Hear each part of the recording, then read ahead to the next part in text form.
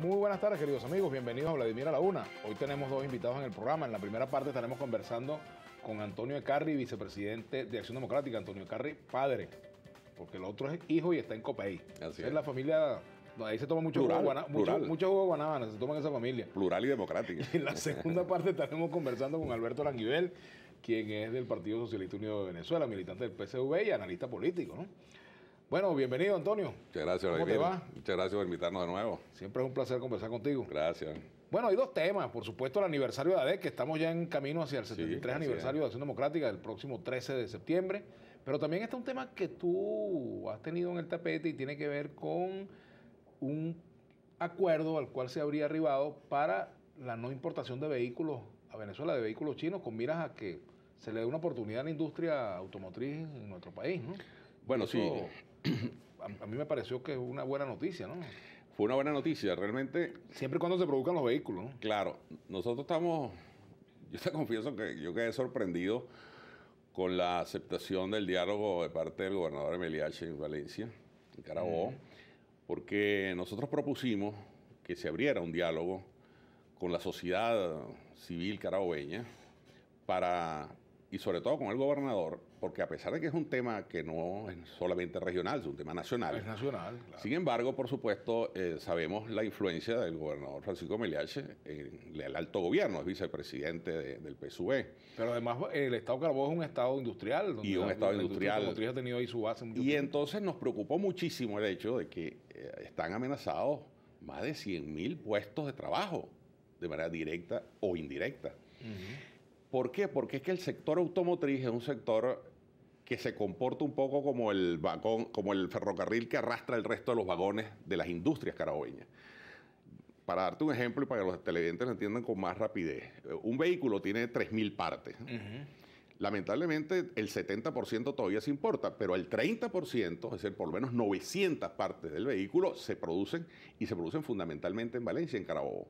Esos son, bueno, claro, hay empresas que fabrican dos y tres, eh, pero son por lo menos 500 o 600 empresas que están en este momento cerradas porque cerró la Ford, cerró la General Motors, cerró la Chrysler. Están en una situación, digamos, de, de letargo mientras resuelven el problema los trabajadores están en sus casas recibiendo salario básico.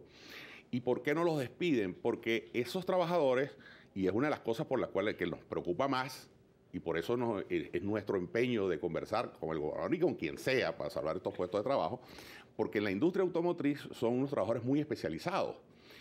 Y, la rotación es muy baja, al punto que el promedio de, trabaja- de, tra- de- de antigüedad en el trabajo es de entre 12 y 14 años de los trabajadores de la industria automotriz. Y un personal, bueno, Un personal dices, altamente, calificado, tan calificado que recuerdo que en una en la reunión que, que produjo el, el gobernador con nosotros y con el presidente de la ensambladora, decía el del presidente General Motors, que es brasileño, que él antes de llegar a ser el presidente de General Motors de Venezuela, venía del Brasil a recibir instrucciones de los trabajadores y traía trabajadores al Brasil para, para recibir instrucciones de los trabajadores venezolanos, que eran muy especializados. Y los de la Ford dicen lo mismo con relación a las empresas, a las camionetas que se están fabricando en la Unión Soviética, en la, en la Uni- en la ex Unión Soviética, en Rusia, en. Moscú. Bueno, allá, allá mandan las... Este, está, hay técnicos de la, de la Ford venezolana allá instruyendo a los rusos. Bueno, quiero decirte, es un personal bien especializado. Pero además de eso, además de que son más de 8 mil trabajadores que están alrededor de la industria automotriz de manera directa, hay todas esas empresas que, surten, que son pequeñas y medianas empresas que también están cerradas. Y además las empresas caucheras, es decir, todo un- un entramado industrial que se ha visto afectado porque no le bajan las divisas y le bajan con, much- con mucha lentitud cuando, cuando se otorgan, que es lo que a mí me he Ahora, puesto ¿En a qué se tradució ahorita ese acuerdo? O sea, ese, ese- ese- esa, al menos ese preacuerdo, porque se supone que no, no lo deciden ustedes. ahí No, no, no, no decimos, sí. Realmente no es un acuerdo, fue que lo que ocurre es que eh, gracias a esa propuesta que, que hicimos, el gobernador nos invitó a la, a la gobernación e invitó a los presidentes de las ensambladoras y a los presidentes de las empresas caucheras y de las autopartes para que, y les pareció a ellos, incluso recuerdo que el presidente de una de las empresas dijo, esta es una reunión oportunísima porque ya se acabó el diálogo, ya hemos hecho muchas mesas de trabajo, no es que eso o- ocurrió por iniciativa nuestra, hay que decirlo con realidad, ya ellos venían conversando. Pero era conversa y conversa y no, no le veían el queso a la tostada, no le veían la- las divisas que llegaban. Bueno, afortunadamente el gobernador se comprometió a llevar esas propuestas al alto gobierno y objetivamente hablando, hay que reconocer que el presidente Maduro en una rueda de prensa, una rueda de prensa no, una cadena nacional, dijo que aceptaba todas las propuestas llevadas por el gobernador Meliache, entre otras, el reconocer eh, esa deuda que tenía o que tiene las ensambladoras a un cambio de 6.30, que fue como se contrajo la deuda. a esa cantidad, claro, con la estructura de costos y precios que tenían en ese momento las empresas. Entonces, lamentablemente la Gaceta Oficial salió diciendo que se le iba a reconocer así cada uno, lo que significaba 11 bolívares por dólar y la diferencia eran mil millones de dólares, lo que hubiese quebrado la empresa sin duda. Afortunadamente, también hicimos la observación y fue modificada la caseta y bueno, la caseta estableció definitivamente que esa deuda se va a pagar a 6.30. Pero el tema es que eh, el gobierno tiene que entender, y, nosotros entendemos también, hay, puede ser que hay gente que, no tenga un, entuerto en el cerebro y lo que quiera es estrangular las empresas, pero si hay una burocracia inmensa que, dificulta las cosas. Y es muy probable también, como le decíamos en un artículo de nuestro, valga la cuña, nuestro último artículo de opinión en, en la prensa nacional, que pareciera que hay una conspiración contra la producción una conspiración de esas mafias importadoras, porque es a los que les conviene, aquello que decía Sherlock Holmes, hay que, hay que ver a quién le conviene el crimen, ¿no? bueno, ¿a quién le conviene este crimen? A esas mafias importadoras que ganan miles de millones de dólares haciendo importaciones de todo tipo, muchas de las cuales son empresas de maletín, bueno, que no fue denunciada por ningún militante de Acción Democrática, fue denunciada nada más y nada menos que por el, por el exministro Giordani y por la presidenta del Banco Central de Venezuela. ¿puede correr riesgo también, Antonio? De que ni se traigan los vehículos ni se tomen las medidas para recuperar o reactivar la industria nacional. Ah, pues eso sería gravísimo, por supuesto. ¿Qué hacer para que eso no ocurra? Bueno, lo que tiene que hacer el gobierno es entregar las divisas, no entregárselas a esas empresas de maletín, no entregárselas a las mafias importadoras, sino entregárselas a, la gente que realmente produce en Venezuela tú eres el entrevistador. O sea, manejar directamente con las empresas automotrices, por ejemplo. Claro, con las empresas automotrices, con las autopartes y con las mm, caucheras. Claro. Fíjate, por ejemplo, el caso que le pasó, lo que acaba de ocurrirle a Firestone, eh, la empresa Firestone, la cauchera, acaban de cerrar la semana pasada. ¿Por qué? Porque no tenían los dólares para pagarle a sus proveedores y los proveedores decían, bueno, no te mandamos más materia prima. Tan sencillo como eso. Bueno, por fin le sacaron el pago, pero le sacaron el 50%. Con ese 50%, pero les llegó tarde, tuvieron que cerrar la semana pasada la empresa. Ahora, ¿tú sabes lo que significa para una empresa de proceso continuo cerrar, apagar las máquinas para después volver, a cerrar? Bueno, el 15 de septiembre van a volver a reactivar la empresa pero también están advirtiendo que si no le sacan el otro 50% se van a parar en octubre otra vez. Entonces, bueno, es un, drama terrible. Entonces, por eso es que uno dice, bueno, ¿qué es lo que está pasando en Venezuela? ¿Qué, dónde están, dónde está, eh, dónde, ¿Por qué se está conspirando contra la industria y contra la gente que está produciendo en Venezuela? Tú eres entrevistador, Vladimir, pero yo te voy a hacer una pregunta, tú que tienes más o menos como yo la, la formación materialista histórica y dialéctica, como Aranguibel también. Este, ¿Cómo es que nosotros, cómo es que, cómo es que chicos, los marxistas pueden estar pensando en acabar con las fuerzas productivas? Esas no son las, que van a generar el cambio social. Es, posible solo con el máximo desarrollo de la fuerza productiva. El máximo desarrollo de la fuerza productiva. Entonces tú vas a acabar con el proletariado, precisamente con la clase obrera venezolana, que es la que trabaja en esas empresas, porque eso es una cascada.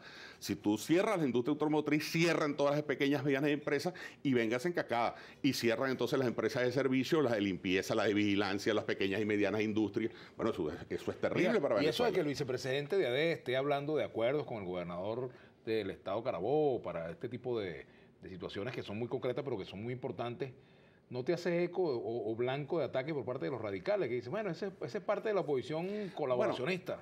te confieso que solamente hemos visto ataques en, Twitter, pero solamente de, anónimos, ¿no? Nadie así con, su cara. Con nombre y apellido. Con nombre y apellido ha salido a atacarnos. Pero bueno, quizás hablan y dicen cosas, pero no, nos preocupa. Mira, nosotros cuando se trata de los trabajadores de Venezuela, cuando está en riesgo el, trabajo de los trabajadores de Venezuela, nos reunimos con quien sea. No tenemos ningún tipo de problema y eso no es ninguna ocurrencia mía, sino una instrucción de la Dirección Nacional de Acción Democrática, del CEN de Acción Democrática y del CES de Carabobo. ¿Cómo está la MUD? ¿Como la industria automotriz o mejor? Bueno, está más o menos parecida. Yo creo que las cosas están mejorando poco a poco. Mm. Mira, la vieja experiencia indica que uno no se puede desesperar ante estas cosas. Mm. Y afortunadamente no hay elecciones inmediatas. Si lo hubiese en este momento sería terrible, ¿no? Pero no hay elecciones inmediatas y yo creo que se van a poner de acuerdo, porque es que tienen que ponerse de acuerdo. Estamos obligados a ponernos de acuerdo todas las fuerzas. Lo que pasa es que hay alguna gente que quizás por, precisamente por eso, por la falta de experiencia, se angustian y comienzan a, sacar consignas maximalistas, ¿entiendes? Del tipo de ya nos, tenemos que salir de este gobierno ya, cosa que queremos todos salir del gobierno, pero se podrá hacer salir de eso, no se puede salir tan Hay que esperar los momentos constitucionales. El hecho de que el cacerolazo ese convocado no tuvo el efecto que otros cacerolazos han tenido en, otros momentos. Bueno, la verdad es que te digo que no sé quién se le ocurrió eso, pero que era, nosotros no, no, no, de la MUD convocando esto. Seguramente, pero nosotros no, no nosotros no, no ni, ni, ni, lo propusimos ni participamos en él. ¿Qué piensas del catahuella esto para la compra de alimentos, de la cesta básica? bueno, yo te quiero decir una cosa. Yo le decía hoy a unos compañeros. Catahuella es un sistema biométrico. Yo le decía hoy a unos compañeros de partido que, que si nosotros fuésemos un poco irresponsables, deberíamos decirle al gobierno, échale pichón, monte las cantahuellas, para que ustedes vean el lío que se le va a armar. Porque eso es una locura, chicos. Tú te imaginas nada más el problema que significa, el problema tecnológico que trae eh, aparejado el problema de las, de las captahuellas. Si es que la gente de CanTV, amiga nuestra, y, viejos compañeros que saben de esas cosas, dicen que cuando las, cuando las instalan en el momento electoral, la CanTV paraliza casi todas las demás cosas en Venezuela para que puedan funcionar. Ahora imagínate tú, funcionando todo en el país, tú pones unas captahuellas en, hasta en, la, en, las bodegas de los barrios, bueno, el lío que se va a armar es terrible porque no hay capacidad técnica para hacerlo. Es el, el, problema de la piratería, hermano. Eso es estar ensayando y error, error y ensayo de manera permanente. Eso no va para ninguna parte. Vamos a hacer una pausa. Ya regresamos con Antonio Carri, vicepresidente de Acción Democrática. Antonio Carri, padre, el ADECO, pues. Ya venimos.